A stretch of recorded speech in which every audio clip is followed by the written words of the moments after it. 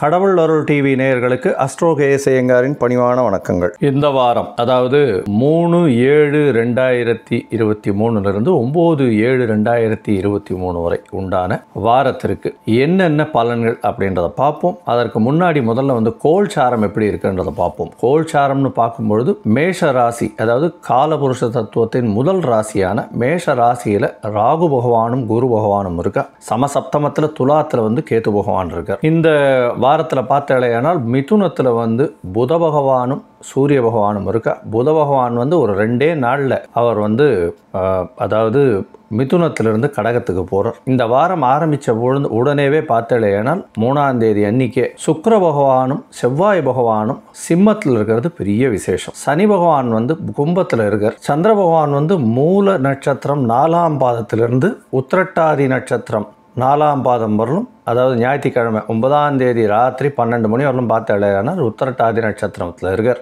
இது வந்து இந்த கோல்சாரத்தின் நிலை. இந்த வாரத்தில் பார்த்தேன்னா மாத கிரகங்கள்னு சொல்லக்கூடிய சூரியனை தவிர மிச்ச மூன்று கிரகங்களுடைய மாற்றங்கள் இருக்குது அதாவது சுக்கர பகவான் செவ்வாய் பகவான் அதை தவிர புத பகவான் மூன்று பேருடைய மாற்றங்கள் இருக்குது செவ்வாய் பகவான் ரெண்டாம் தேதியை மாறிடுறார். இருந்தாலும் மூணாம் தேதியிலேருந்து எஃபெக்டிவாக இருக்குது மூணாம் தேதியிலிருந்து பார்த்தாலேயானால் சுக் செவ்வாய் பகவானும் நாலாம் தேதி அன்னைக்கு சுக்கர பகவானும் அஞ்சாம் தேதி அன்னைக்கு புத பகவானும் ஒருத்தொத்தராக வந்து அடுத்த ராசிக்கு மாறுறா. இது வந்து ஒரு பெரிய ஏற்றத்தையும் மாற்றத்தையும் கொண்டு வந்து கொடுக்கும். ஏன்னா இவ்வளவு நாளாக செவ்வாய் பகவான் நீச்சத்தில் இருந்ததுனால கண்டிப்பாக ரியல் எஸ்டேட் பிஸ்னஸ்லாம் பொதுவாகவே அடிபட்டு போயிருக்கும். டாக்டர்ஸுக்கெல்லாம் ஒரு பெரிய செட்பேக் இருந்திருக்கும். மருத்துவ தொழில் அந்த மாதிரி தொழில்களில் இருக்கிறவாளுக்கு பெரிய செட்பேக் இருக்கக்கூடிய காலகட்டம். ஃபயர் ஆக்சிடென்ட்ஸ் எல்லாம் நடந்திருக்கும். இதெல்லாம் வந்து இந்த இதில் வந்து செவ்வாய் பகவான் மாறினதுக்கு அப்புறம் நல்ல ஒரு ஏற்றத்தை கொடுக்கும். இந்த வாரத்தில் வந்து ரியல் எஸ்டேட்டில் ஒரு பெரிய அப்கிரேட் இருக்கும். பொதுவாக பார்த்தீங்கன்னா சுக்கர பகவானும் சேர்ந்திருக்கார். சூரியனுடைய வீட்டில் இருக்கார். செவ்வாய் பகவான் சூரியனோட வீட்டில் இருக்கிறது பெரிய விசேஷம். ஏன்னா சிம்மத்துக்கு வந்து அதிசுபர்னு சொல்லக்கூடியவர் செவ்வாய் பகவான். சிம்மத்துக்கு பதினொன்றாம் இடத்துலேயே சூரியன் இருக்கார் இப்போ. அதனால் பெரிய விசேஷம் வேறு. நிறைய டீல்ஸ் அதாவது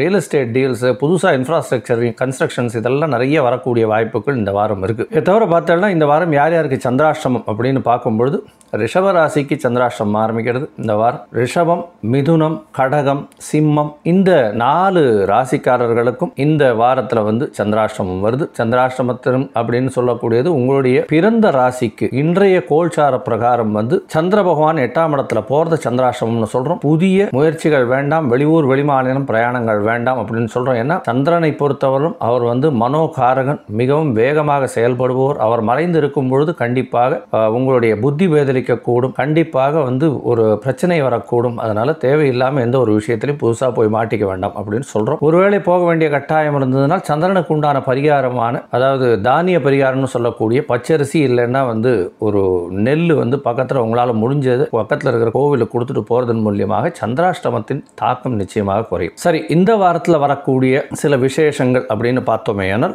மூணாந்தேதி அன்றைக்கே வந்து பௌர்ணமி.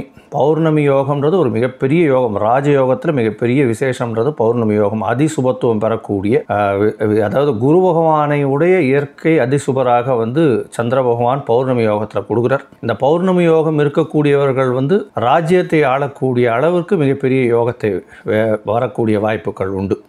இதை தவிர பார்த்தாலேனா பௌர்ணமி இந்த பௌர்ணமியில் வந்து நார்மலாக பௌர்ணமிக்கு பௌர்ணமி வந்து சத்யநாராயணா பூஜை பண்ணுவா. சாயந்தரம் வந்து சத்யநாராயண நான் ராத்திரி பூ- பூஜை பண்ணிவிட்டு அதுக்கப்புறம் வந்து விரதம் இருந்து அதுக்கப்புறம் சாப்பிடுவாள் இந்த பௌர்ணமியில் பூஜைக்கு விரதம் இருந்தாலேயான காதலர்கள் அதாவது கண்ண கிருஷ்ண பரமாத்மாவுக்கு வேண்டிட்டு விரதம் இருந்தார்களேயானால் காதலர்கள் ஒன்று சேரக்கூடிய வாய்ப்புகள் மிகவும் அதிகம். இந்த ஆனி மாசத்து பௌர்ணமியினுடைய மிகப்பெரிய விசேஷம் இது. அதனால காதலர்கள் ஒருங்கிணைந்து இருக்கணும்னு நினைச்சாலேயானால் இந்த ப- பௌர்ணமியினுடைய கண்ணனை பிரார்த்திச்சுண்டு கிருஷ்ணரை பிரார்த்திச்சுண்டு அவருக்குன்னு இந்த இது விரதம் இருக்கிறது ரொம்பவும் நல்லது. இதை தவிர பார்த்தாலேயானால் சங்கடஹர சதுர்த்தி அதாவது பௌர்ணமியிலிருந்து நாலாவது நாள் சதுர்த்தி வருது. இந்த சதுர்த்தியில் வந்து பார்த்தலையானால் கிருஷ்ணபக்ஷம் அதாவது தேய்பிரையில் ஆரம்பிக்கிறது. நாலாவது நாள் அந்த அளவுக்கு வந்து ச- சந்திரன் வந்து தேய்ந்திருக்காது. இருந்தாலும் பஞ்சமிக்கு அப்புறம் தான் வந்து பௌர்ணமி பஞ்சமி சஷ்டிக்கு அப்புறம் தான் இது தேய்பிரையில் உங்களுக்கு சந்திரனுடைய ஒளி குறைய ஆரம்பிக்கும். இந்த காலகட்டத்தில் பார்த்தலையானால் சங்கடஹர சதுர்த்திக்கு கண்டிப்பாக போய் உங்களுடைய குறைகளை சொல்லி விநாயக பெருமானுக்கு ஒரு ஒம்பது தரம் தோப்புகரணம் போட்டுட்டு வர வர்றதன் மூலியமாகவும் ஒரு பதினெட்டு தரம் பிரதட்சணம் பண்ணிட்டு ஒரு தேங்காயை உடைச்சிட்டு வர்றதன் மூலியமாகவும் உங்களுடைய கஷ்டங்கள் அனைத்தும் நீங்கும். எல்லா விதமான பிரச்சனைகளுக்கும் விடிவு வரும். வேலை கிடைக்காதவங்க அதை தவிர வீட்டு பிரச்சனை இருக்கிறவங்க வீடு விற்காம இருக்கிறவங்க உடல் நிலையில் ஏற்றம் இல்லாதவர்கள் இவர்களுக்கு எல்லாருக்குமே வந்து இந்த சங்கடகர சதுர்த்தி ஒரு நல்ல ஏற்றத்தையும் மாற்றத்தையும் கொடுக்கும். சரி இப்போ வந்து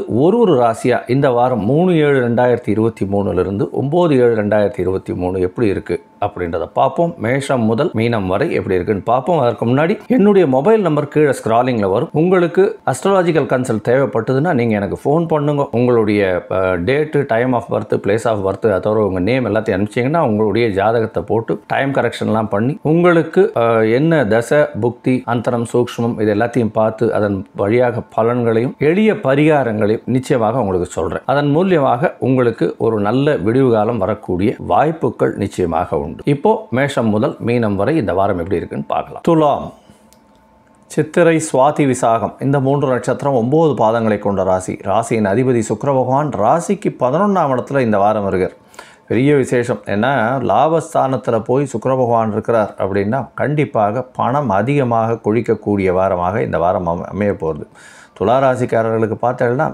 அதுவும் ரியல் எஸ்டேட் தொழில் துறையில் இருக்கிறவாளுக்கு பெரிய ஏற்றம் கிடைக்கும். இதை தவிர பார்த்தீங்கன்னா உங்களுடைய ராசிக்கு ஏழாம் இடத்துல குரு பகவான் இருக்கிறது ரொம்ப பெரிய விசேஷம். திருமணத்திற்கு பார்த்து கொண்டு இருக்கக்கூடிய இளைஞர் இளைஞர்களுக்கு கண்டிப்பாக திருமண பாக்கியம் ஏற்படக்கூடிய வாய்ப்புகள் உண்டு.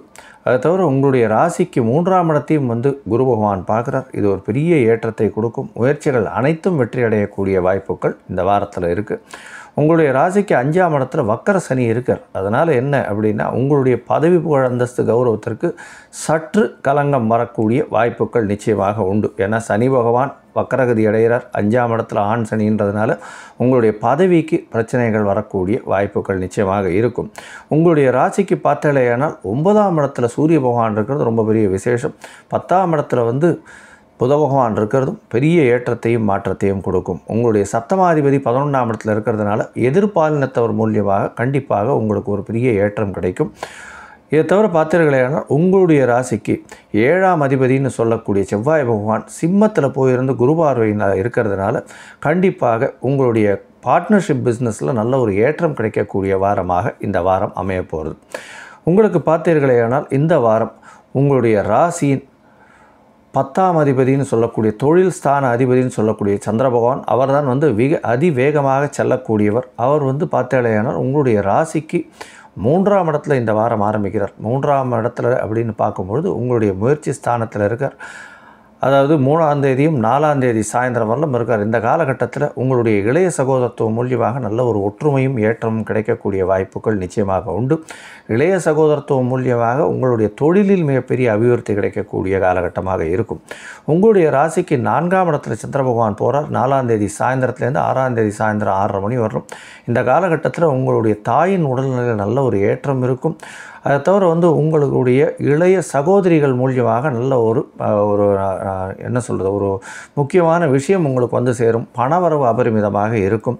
உங்களுடைய இந்த துலா ராசியில் இருக்கக்கூடிய இந்த கார்மெண்ட் இண்டஸ்ட்ரி இதெல்லாம் வச்சுருக்கிறவங்க கார்மெண்ட் இண்டஸ்ட்ரியில் ஒர்க் பண்ணுறவங்க அதை தவிர வந்து இந்த ஜென்ரல் மர்ச்சன்ட்ஸு இதில் ஜென்ரல் மர்ச்சன்ட்ஸ் அவங்கெல்லாம் வச்சுட்டு இருக்கவங்கெல்லாம் வந்து பெரிய ஏற்றத்தை கிடைக்கக்கூடிய வாரமாக இந்த வாரம் அமைய போகிறது. அது தவிர ஸ்டேஷ்னரி ஸ்டோர்ஸ் அவங்களுக்கு ஒரு பெரிய ஏற்றம் கிடைக்கும். கலைத்துறையில் இருக்கிறவங்களுக்கு பெரிய ஏற்றம் கிடைக்கக்கூடிய வாரமாக இருக்கும். இதை தவிர பார்த்தீர்களேனால் இந்த இது சாப்பாட்டு கடைன்னு சொல்லுவாங்க இல்லையா? அந்த வண்டி தள்ளி கொண்டு செல்லக்கூடியவர்கள் அவர்களுக்கு இந்த வாரம் நல்ல ஒரு ஏற்றமான வாரமாக இந்த வாரம் அமைய போகிறது. உங்களுடைய ராசிக்கு பார்த்தீங்கன்னா நாலாம் இடத்துலேருந்து அஞ்சாம் இடத்துல சந்திர பகவான் போகிறார் அது வந்து எட்டாம் தேதி சாயந்தரம் வரலும் அங்கே இருக்கார். ஆறாம் தேதி சாயந்தரம் ஆறரைலேருந்து எட்டாம் தேதி சாயந்தரம் வந்து ஒரு ஆறரை மணி வர எட்டரை மணி வரலும் இருக்கார்.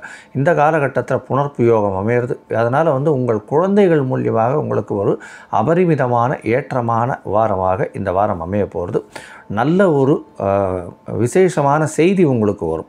இதை தவிர பார்த்துருக்கீங்கன்னா உங்களுடைய ராசிக்கு ஆறாம் இடத்துல போய் பத்தாம் அதிபதி உட்கார்றார். எப்போன்னா எட்டாம் தேதி சாயந்தரம் ஒரு எட்டரை மணியிலிருந்து பார்த்தாலேயானால் ஆறாம் இடத்துல உட்கார்றதுனால புதிய வேலை கிடைக்கக்கூடிய வாய்ப்புகள் உண்டு. புதிய வேலை கிடைக்கக்கூடிய வாய்ப்புகள் அப்படின்னு பார்க்கும்பொழுது இந்த இதில் ஃபிலிம் இண்டஸ்ட்ரியில் அடிஷ்னலாக உங்களுக்கு வந்து ஜாப் கிடைக்கக்கூடிய வாய்ப்புகள் இருக்கும் கலைத்துறையில். அதை தவிர வந்து பார்த்தீர்களேனால் புதிய ஒப்பந்தங்கள் கையெழுத்து போடக்கூடிய வாய்ப்புகள் நிச்சயமாக இருக்கும்.